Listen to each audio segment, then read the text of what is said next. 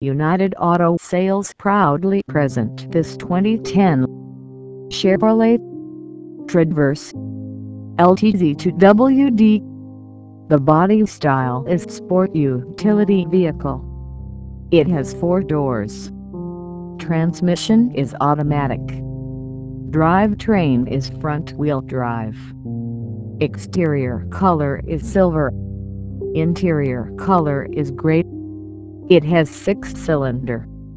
Engine size is 3.6-liter V6 DOHC 24V. It has options like rear window defroster tire pressure monitoring system to anti-roll bucket seat navigation system. Please come to visit us at 5710 Northwest 39th Street, Acres. Oklahoma 73122 or give us a call at area code 40549159559.